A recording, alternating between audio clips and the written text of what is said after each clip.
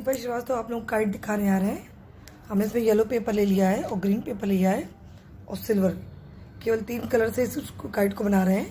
तो इसमें हमने स्क्वायर टाइप का पहले एक येलो पेपर ले लिया है और फिर यहाँ पे ट्रायंगल से इसको सिल्वर से चिपका दिया है। फिर यहाँ साइड में ट्रायंगल से चिपका दिया है और इस दो कॉम्बिनेशन यूज़ कर रहे हैं। फिर बटरफ्लाई में बना लिए। मिडल में यहाँ बटरफ्लाई चिपका देंगे इस टाइप से और कुछ स्टोन लगा करके इस काइट को हम रेडी करेंगे।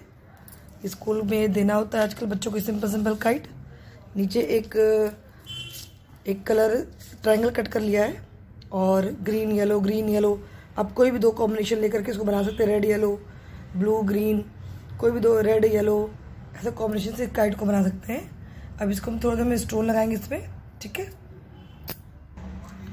देखिए बटरफ्लाई में लगा दिया इस पर अब कुछ स्टोन से चिपका देंगे इस पर देखिए सिंपल इसको तैयार कर दिए हैं। अब एक नग लगा दिए, स्टोन लगा दिया हमने।